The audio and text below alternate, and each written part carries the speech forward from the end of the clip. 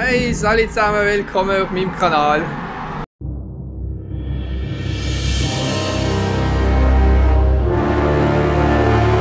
Gern sind ihr dabei bei dieser Tour, die ich euch heute zeige.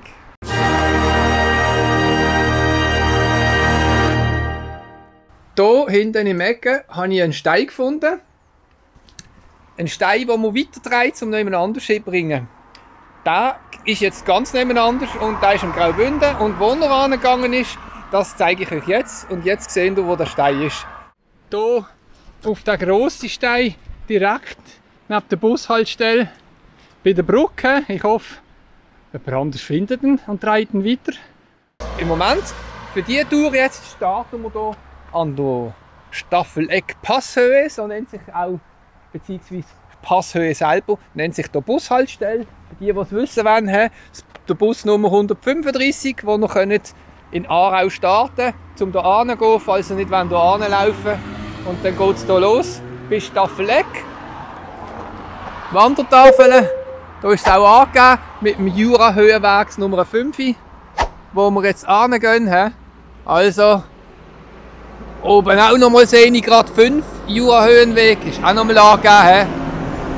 Dann geht es hier mal entlang auf dieser Seite von der Straße, wo man einen kleineren Wanderweg gemacht hat.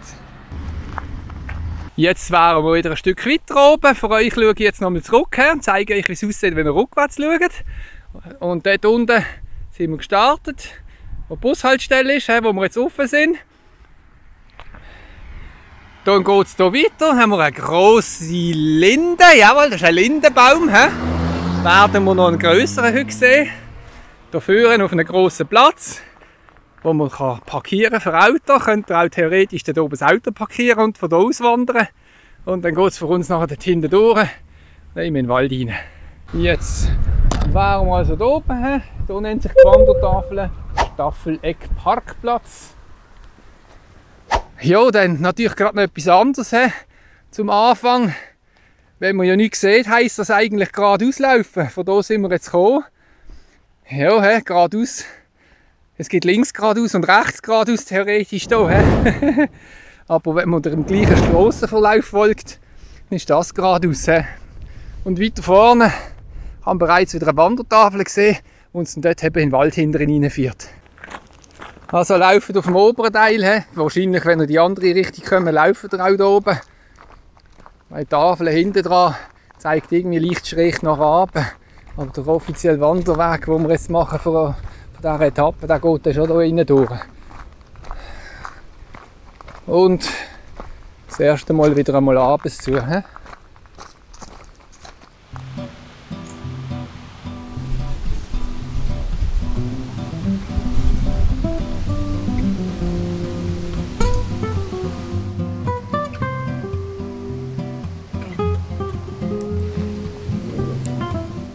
Dann gibt es hier noch offenbar einen anderen Wanderweg für die, die es interessiert. He?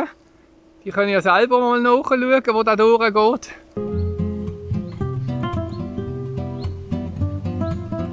Ja, jetzt geht es wieder aufwärts, wie ihr seht. He? Jetzt sind wir eine längere Zeit im Schatten gesehen und wenn es wieder weiter rauf geht, he, sehen wir jetzt gerade, haben wir wieder Sonne. Wenn ihr es von der anderen Seite lauft, sieht es für euch nicht anders aus mit der Beleuchtung.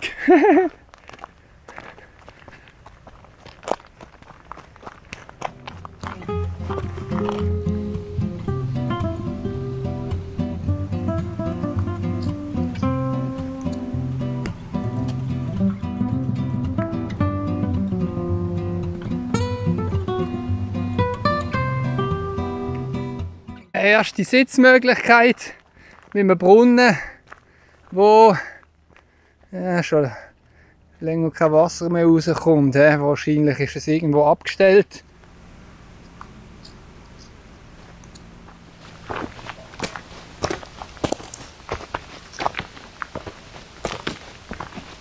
Da ist es jetzt gerade ein bisschen ziemlich steil aufgegangen. Mit dem Velo hat die jetzt gesagt, wie die absteigen, allein schon auf dem Bodenuntergrund. Dann sind wir hier bei irgendeinem Grenzstein. Wahrscheinlich sind wir hier irgendeiner Grenze. Äh, äh, kann ich nicht identifizieren, kenne ich nicht. Das Jahr, he? das Einzige, was ich identifizieren kann, ist T für meinen Namen Toni, wo die wenigsten vielleicht wissen. Nur die, die auf Instagram sind, wissen, dass ich Toni heiße. Und hier geht es wieder bergab.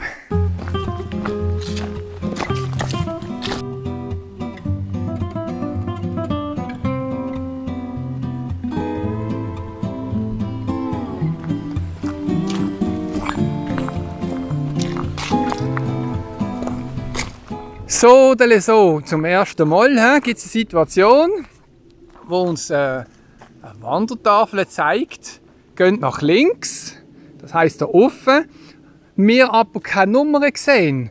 Das heißt, wäre jetzt dort noch andere Wandertafeln gegeben, die hier auch Abend zeigen würden, wäre es jetzt schwierig herauszufinden, wodurch, wenn man keine Wegweisung hat. Weil ja, wir müssen ja eigentlich dieser Nummer nachwandern, mit dem 5 hier.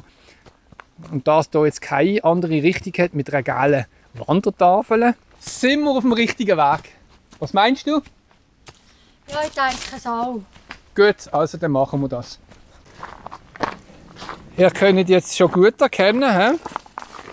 man könnte meinen, wir sind im Herbst wandern, aber es ist ja eigentlich immer noch Sommer. Als Laie erlaube ich mir jetzt euch zu mitteilen, warum das so ist. Kurz und einfach kommen ihr vielleicht selber auf die Idee. Das ist, weil es zu wenig geregnet hat. Und durch das es zu wenig geregnet hat und die Bäume weniger Wasser haben, müssen die Energie sparen. Und das machen sie, indem sie schon Blätter frühzeitig verwelken, quasi, ich sage jetzt verwelken, vertrocknen, und lassen fallen, damit sie den Rest vom Baum können weiter retten in dem Sinn, dass nicht zu viel Feuchtigkeit verloren geht. Und deswegen wird äh, das Jahr schon einen früheren Herbst geben, der bereits ja schon anfängt, he, immer noch im Sommer eigentlich. Ja, das ist das Problem mit der Problematik wenig Regen. Prost. Danke vielmals.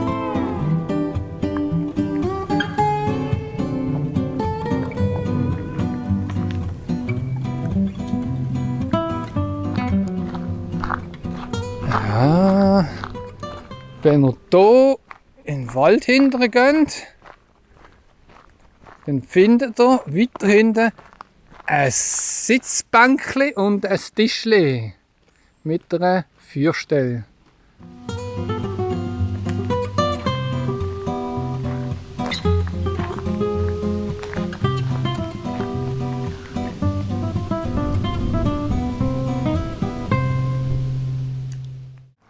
Okay. Eine weitere Wandertafel. A. Almhart. AE geschrieben. Almhart. Okay. Wir sind jetzt schon wieder ein Stückchen weiter und sind aus dem Wald gekommen. Hier sehen das Panorama noch ein bisschen anders als das, was wir vorher gesehen haben. Hier haben wir das Bergpanorama. Ich erlaube mir jetzt mal das Berg zu nennen. Und hier vorne wenn ihr auf Google Maps geht, meinte ich doch jedenfalls, falls ich das nicht falsch in Erinnerung habe, werdet ihr sehen, dass das ein spezieller Ort ist. Denn das ist vom Jurapark eine Baumkapelle. Interessant, was es nicht alles gibt.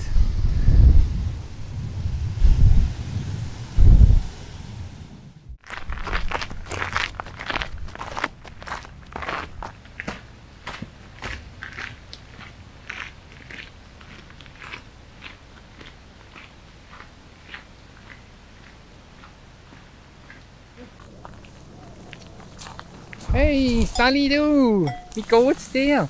Hoi! Hoi du! Na, musst... Jo, Sally! Musst Fliegen vertreiben, hä? Tschüss!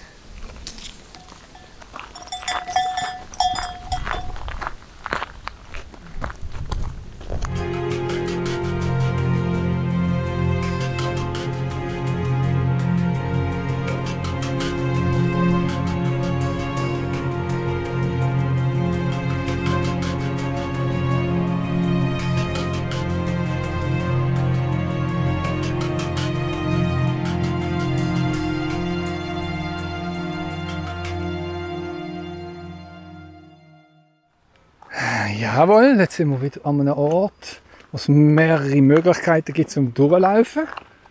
Da haben wir aber eine Wandertafel mit der Nummer drauf, wunderbar. In Möseren sind wir.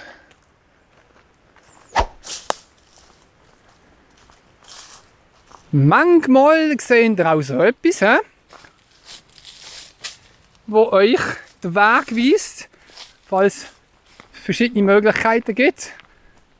Und weiter oben kann man dann bereits am Baum auch schon erkennen, wieder geil. Was jetzt nicht zwingend heisst, dass man da rauf müsst, aber weil jetzt ein Pfeil ist und nirgends etwas anderes markiert ist, geht es dort natürlich durch.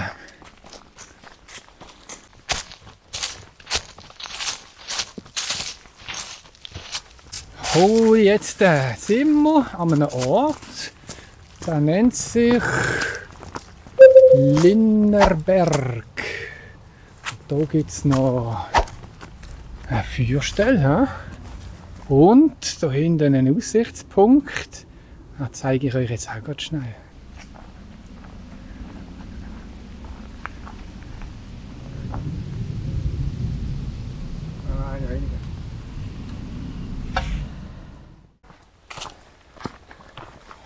Weiter geht's wieder, he? nach dem kleinen Stopp für euch und für uns zum die Aussicht genießen. So ein tolles Modewort, he? genießen. Obwohl das jetzt schon vor, vor Jahrzehnten gab, scheinbar. Oh, lässig, sieht richtig cool aus da. Und ihr merkt total den Unterschied, wenn ihr im Wald steht oder wenn ihr in der Sonne steht. He? So viel macht das aus. Bäume gleich wichtig. Uiuiui, ui, da geht es abends zu. Auch das he, für euch zum Zeigen wichtig, je nachdem, wie ihr zu Fuß unterwegs sind. He. Aha, offenbar gehen die da auch noch durch. He. Äh, auf einem Wanderweg, dass ihr wisst, wie der Untergrund ist, falls ihr einmal nicht mehr durch sind. Deswegen mache ich auch die Filme für euch, damit ihr vorher gesehen ob der Untergrund für euch zumutbar ist, je nachdem, was ihr euch zutraut, noch immer zu laufen, zu wandern, zu spazieren, wie man es immer nennen will. He?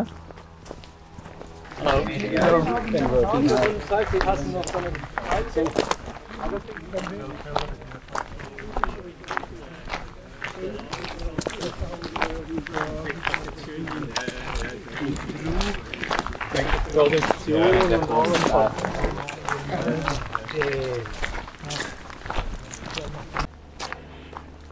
Wenn wir dann weiter runter sind, haben wir wieder befestigte Straße, ein paar Bänkle, immer noch im Schatten, gibt es nämlich auch nicht oft.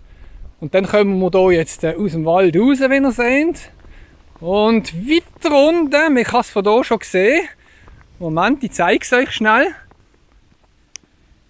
Dort vorne, das dort ist eine Linde, wo wir jetzt angehen. Dort geht unser Wanderweg weiter. Wir nähern uns dem speziellen.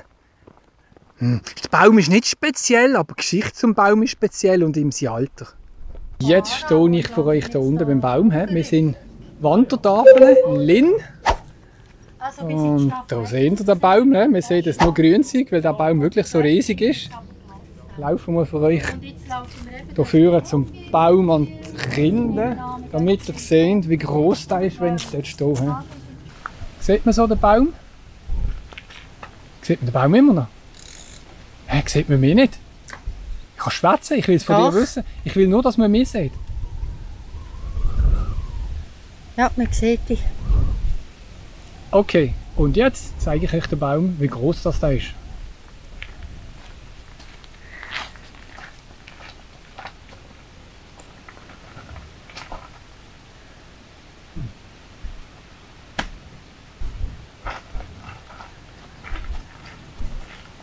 Geht ja da oben.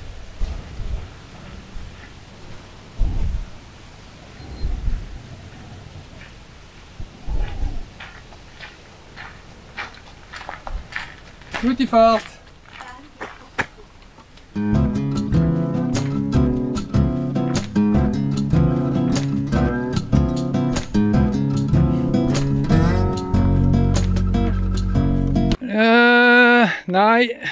geradeaus.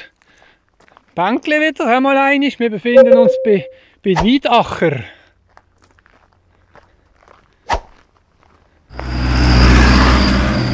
Dass die Pflanze hat an der, an der Kante ist sie hell, bedeutet, da fehlen Nährstoffe. Die wahrscheinlich hat zu wenig Wasser gehabt und deswegen ist sie nicht komplett grün, oder? So, liebe Wanderfreunde, auch so Sachen gibt es. Und nicht nur in anderen Ländern, auch die Schweiz muss sich damit bekümmern. Wir sind hier an einem Ort. Hier geht es um ein Langzeitbeobachtungssystem, wo Tiefenbohrungen gemacht worden sind, Bötzberg 1, wo Schweizer Atommüll tief im Untergrund in einem geologischen Lager entsorgt werden soll.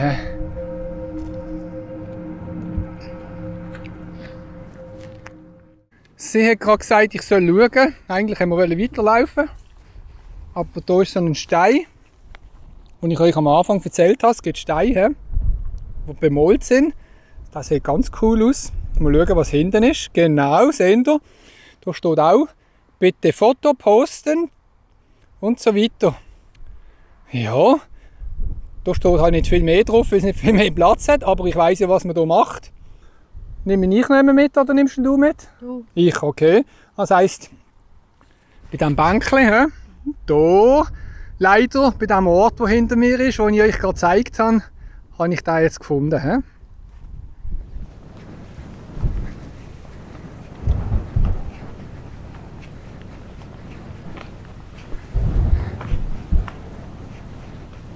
Wahnsinn! Hey, so viel habe ich noch nie auf einem Haufen gesehen. Schade, die sind ziemlich ängstlich. Jetzt gehen sie wieder.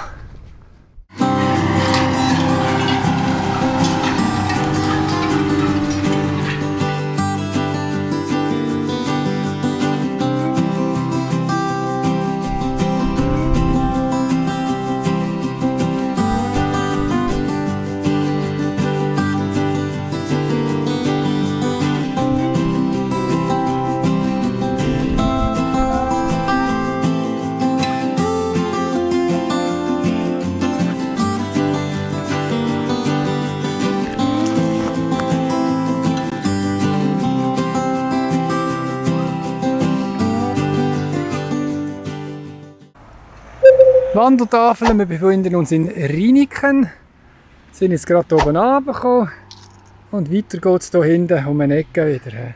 Jetzt sind wir an einem Punkt, wenn wir von hier gekommen sind, würde man denken, wir müssen geradeaus weiter. Dann sieht man dort die Wandertafeln, muss man gut schauen. Im Paradiesstrasse, Rinikostrasse, da oben ist die Wandertafel. Wenn ihr aber von hier hinten kommt, weil der Wanderweg eigentlich von der anderen Seite startet, was aber nicht relevant ist, weil man von beiden Seiten kann, wie ihr jetzt gesehen habt, ist es auch in dieser Seite gut ausgeschildert. Äh, ja, würde man sie, wenn man von dieser Seite kommt, nicht wirklich sehen. Weil, ja, ich äh, meine, wenn ihr jetzt hier rauskommt, wo ich jetzt gerade stehe, ähm, warte mal, sie weiterläuft so. Wenn wir jetzt hier rauskommen und hier stehen, dann müsst ihr zuerst überlegen, wo ihr durch müsst, weil ihr seht hier auf Anhieb keine Wandersignalisation und dann läuft man irgendwann raus und die Wandertafel muss man dann suchen, die ist dort verwachsen hinter den Bäumen.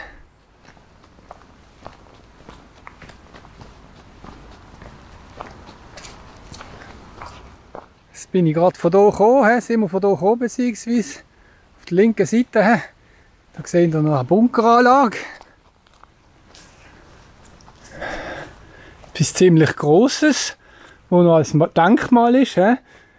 Ein militärhistorisches Objekt, wo als Zeitzeuge gilt aus dem Zweiten Weltkrieg, hä? von 1939 bis 1945.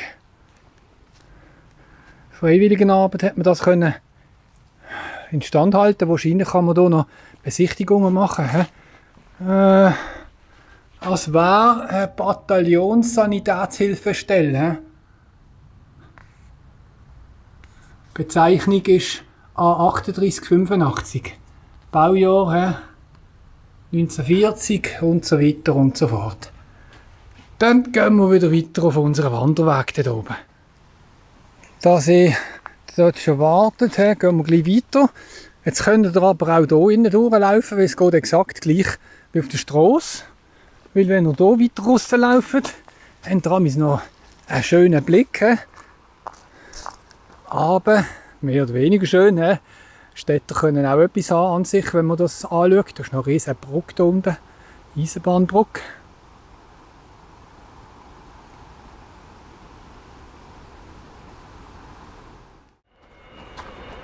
Und nochmal ein Sitzbänkchen. He? Wenn wir nochmal runterschauen können, jetzt fährt gerade ein Wagon durch. Güter, ah, das sind Cargo. He?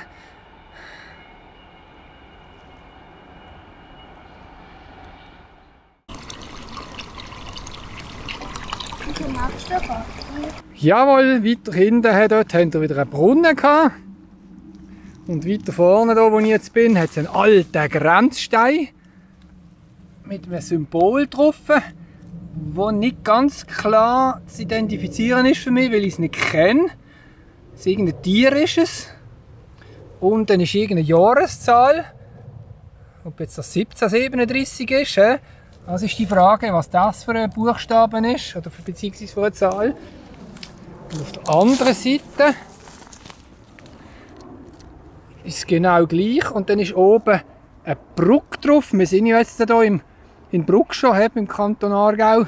Wahrscheinlich ist das irgendein alter Grenzstein von Bruck und einer anderen Ortschaft. He.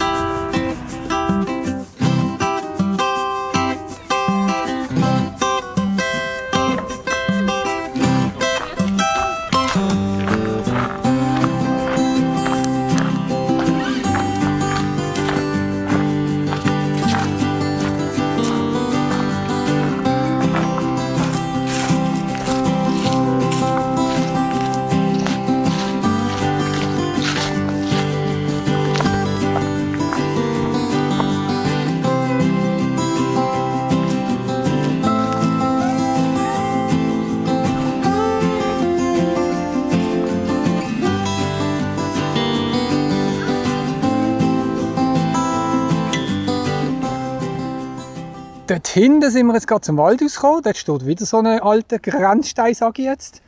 Hier, hier sehen es nicht direkt, aber hier müssen wir nachher gerade in den Wald rein. Dann hier sind wieder Wandertafeln he? mit dem 5 drauf und so weiter und so fort. Und die Brücke ist auch angeschrieben. Dort steht, dass es noch 20 Minuten geht bis auf die Brücke.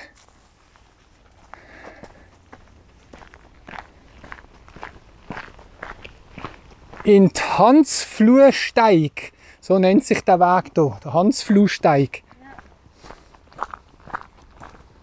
Und richtig schön im Schatten. Entweder gehen ihr da rauf, aber ich bin jetzt von hier runter gekommen. Dann stehen ihr hier, dann kann man hier rauf, dann kann man hier runter, so einen richtig schönen Steinweg. Man könnte hier hindern. Und jetzt ist die Frage, wo durch, dass wir müssen.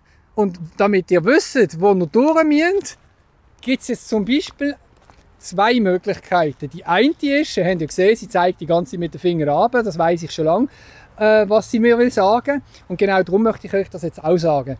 Die eine Möglichkeit ist, ihr schaut einmal in alle Richtungen, ob ihr immer wieder das gelbe Rautenzeichen seht. Das kann man von oben bereits schon sehen. Das ist eine kleine Aussichtsplattform, dass man weiß, das ist ein Wanderweg. Die andere ist, ihr seht es direkt hinter mir, weil wenn ihr nämlich von da unten offen kommt, müsst ihr ja auch wissen, ob ihr links oder rechts müsst. He? Und dann habt ihr da oben am Baum eine Markierung mit Pfeil. Und deswegen könnt ihr dann davon ausgehen, ah, wenn ich hier runterkomme und der Pfeil zeigt nach links, heisst das, wir sind mit größter Wahrscheinlichkeit von da unten gekommen. Jetzt sind wir ein paar Meter weiter unten, wie wir sehen, weil wir hier zum Wald ausgekommen sind. Dann gehen wir an dieser Frau vorbei und schauen die Landschaft an und sehen, dass da unten unser Zielpunkt wird sein, hier hinten um eine Ecke herum. Also gehen wir jetzt weiter runter.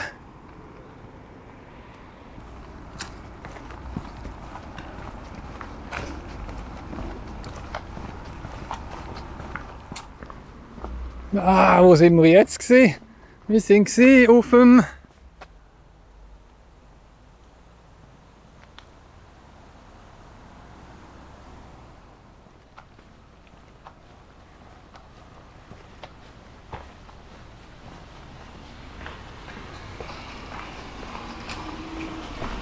Und dann kommen wir da zwischendurch raus. He?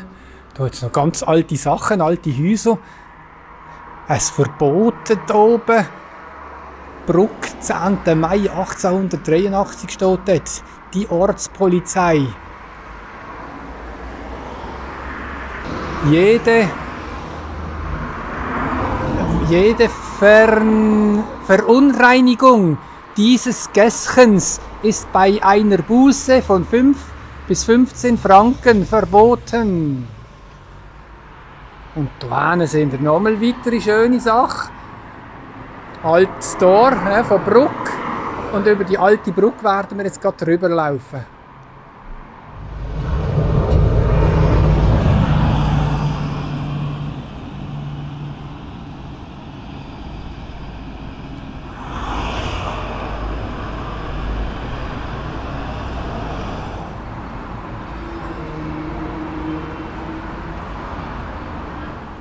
Jetzt wird es gerade ein kompliziert. Wenn ihr hier kommt, geht es hier rauf. Oder wir kommen normal von da oben. Weil jetzt gibt es eine spezielle Situation, die ziemlich verwirrend ist. Da wir ja das Nummer 5 laufen, müsst ihr halt jetzt lesen, in welche Richtung das euer Nummer 5 geht. Zu oberst oben steht Staffelegg. 4 Stunden 10 Minuten. Aber hier oben in Ecke, seht ihr, ist nochmal eine 5.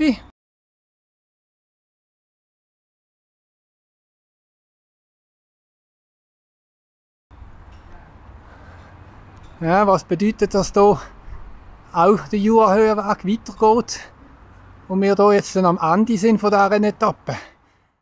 Ja, aber wenn man sich in der Stadt befindet, heißt das immer geradeaus. Oder der Wanderzeichen nachlaufen.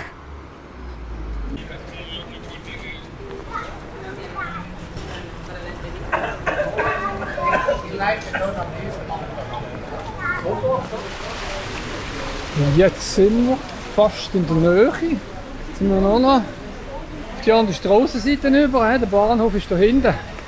Jetzt schauen wir selber, wenn ihr rüber wollt. Wahrscheinlich dort hinten unter der Ohren oder wird hier über die Straße. Das ist euch aber wenn ihr das macht.